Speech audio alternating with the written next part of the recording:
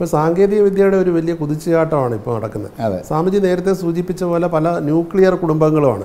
എല്ലാവരും തേടുന്നത് ശാന്തിയാണ്. ശാന്തിയാണ്. പക്ഷേ ഈ ഒരു ഇത് ഈ ഒരു അവസരം മുതലെടുക്കാൻ വേണ്ടി പല പല ആധ്യാത്മികതയുടെ മൂടുപടം അണിഞ്ഞിട്ടുള്ള പല തട്ടിപ്പുകളും നമ്മുടെ നാട്ടിൽ അരങ്ങേറുന്നുണ്ട്. അന്നേരം അതിനെയൊക്കെ ചെറുക്കാനും അതിനെയൊക്കെ പ്രതിരോധിക്കാനും കഴിയുന്ന ഒരു വലിയ സ്ഥാപനമാണ് ശിവഗിരി മഠം. അതിന് അത്തരം കാര്യങ്ങളിലൊക്കെ എന്തായിരിക്കും സമീപനം? ഇത്തരം കാര്യങ്ങളിൽ യഥാർത്ഥ സന്യാസം എന്താണ്? ശുദ്ധമായ സന്യാസം എന്താണ്?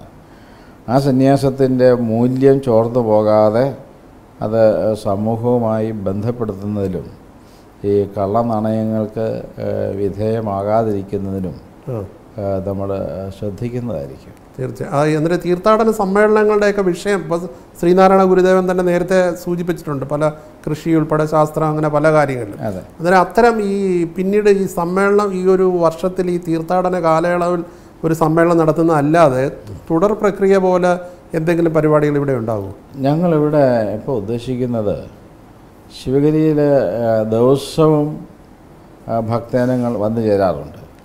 ഇവിടുത്തെ പ്രധാനപ്പെട്ട വഴിപാടാണ് ഗുരുപൂജ. ഗുരുപൂജയിൽ എല്ലാവരെയും പങ്കെടുപ്പിക്കും? എല്ലാവരെയും. അപ്പോൾ അവർ മഹാസമാധിയിൽ വന്ന് പൂജ നടത്തിയിട്ട് അതിന്റെ പ്രസാദം എന്ന നിലയിലാണ് ഭക്ഷണം ഉച്ചഭക്ഷണം കൊടുക്കുന്നത്. അപ്പോൾ സാധാരണ ദിവസങ്ങളിലൊക്കെ ഒരു പത്ത് മുന്നൂറ് അഞ്ഞൂറ് പേരൊക്കെ ഈ ഗുരുപൂജ നടത്താൻ വരും. ഞായറാഴ്ചയൊക്കെ ആണെങ്കിൽ ആയിരം രണ്ടായിരം പേരൊക്കെ ഉണ്ടാകും മാസം തോറും ചതയത്തിനും അതേപോലെ ഭക്തജനങ്ങളുടെ തിരക്കുണ്ടാകും. അപ്പോൾ ഞങ്ങൾ ഈ വിശേഷ ദിവസങ്ങളിലെല്ലാം ആഴ്ചയിൽ ഒന്നോ രണ്ടോ ദിവസം ഒരു മണിക്കൂർ നേരം ഭക്തജനങ്ങൾക്ക് വേണ്ടി പ്രഭാഷണ പരമ്പര നടത്തുവാൻ തീരുമാനിച്ചിരിക്കുകയാണ്. ഓ അത് വളരെ നല്ല കാര്യമാണ്. അതിന്റെ തുടക്കം ഈ നാളത്തെ കഴിഞ്ഞ് ചതയമാണ്. ചതയത്തിന് ആ, പ്രഭാഷണം ആരംഭിക്കും. അതിന് മുൻപ് ഗുരുദേവൻ ഒരു ഹോമമന്ത്രം എഴുതിയിട്ടുണ്ട്. ഗുരുദേവൻ എഴുതിയ ഹോമമന്ത്രം എന്ന് പറഞ്ഞാൽ അത് ഭാരതീയ ചരിത്രത്തിലെ ഒരു മഹാസംഭവമാണ്. വ്യാസൻ വസിഷ്ഠൻ വാൽമീകി ശങ്കരാചാര്യർ ശ്രീരാമകൃഷ്ണ പരമഹംസർ തുടങ്ങിയ എത്രയോ ഗുരുക്കന്മാർ ഭാരതത്തിൽ അവതീർണരായിട്ടുണ്ട് അപ്പോൾ ഈ മന്ത്രങ്ങളെയൊക്കെ ക്രോഡീകരിച്ച് വ്യസനം ചെയ്തത് വ്യാസനാണ്. അതെ. അതുകൊണ്ടാണ് വേദവ്യാസൻ എന്ന് പറയുന്നത്. വേദം അതെ. അതിനുശേഷം പിന്നീട് ഭാരതീയ ചരിത്രം എടുത്ത് പരിശോധിക്കുമ്പോൾ സ്വന്തമായി ഒരു മന്ത്രം നിർമ്മിച്ചയാൾ അത് വേ വേദഭാഷയിൽ നമ്മുടെ വിഷ്ണുനാരായണൻ നമ്പൂരി സാറ് ഒരിക്കൽ പറഞ്ഞു വേദഭാഷ അറിയാവുന്ന ഒരേ ഒരു മഹാത്മാവായിരുന്നു ശ്രീനാരായണ ഗുരു എന്നാണ്. ആ വേദഭാഷയിലാണ് ഗുരുദേവൻ ഈ ഹോമമന്ത്രം എഴുതിയിട്ടുള്ളത്. ആ ഹോമമന്ത്രം ഉപയോഗിച്ചുകൊണ്ട് എല്ലാ മാസവും ചതയത്തിന് ഭക്തജനങ്ങളെ പങ്കാളികളാക്കിക്കൊണ്ട് ശാന്തി ഹവന യജ്ഞം ഞങ്ങൾ നടത്താൻ തീരുമാനിച്ചിരിക്കുകയാണ്. ഈ ചതയ പൂജ എന്ന് പറഞ്ഞത് അതെ. അപ്പോൾ ഭക്തജനങ്ങൾ വന്നിട്ട് അവരൊരു വഴിപാടായിട്ട് നടത്തി പോവുക എന്നുള്ളതല്ല.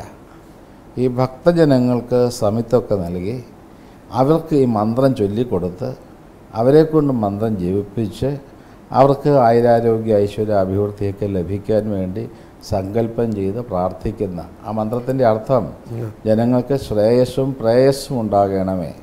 ശ്രേയശ്ച പ്രേയശ്ച പ്രയച്ഛ സ്വാഹ എന്ന മന്ത്രം അവസാനിക്കുന്നത്. അപ്പോൾ ജനങ്ങൾക്ക് ഭൗതികവും ആധ്യാത്മികവുമായ പുരോഗതി ഉണ്ടാകണമേ എന്നാണ് ആ മന്ത്രത്തിന്റെ അർത്ഥം. അത് ഉള്ളിൽ വെച്ചുകൊണ്ട് ഈ ഭക്തജനങ്ങളെ ചുറ്റും ഹോമകുണ്ടത്തിന് ചുറ്റുമിരുത്തി അവരെ കൊണ്ട് തന്നെ ഇതിൽ സമിത്ത് ഹോമിപ്പിച്ച് ഉള്ള ഒരു പുതിയ ശൈലിയിലുള്ള ഹോമവിധാനമാണ് ഞങ്ങൾക്ക്. അത് എത്ര നേരം നീണ്ടു നിൽക്കും?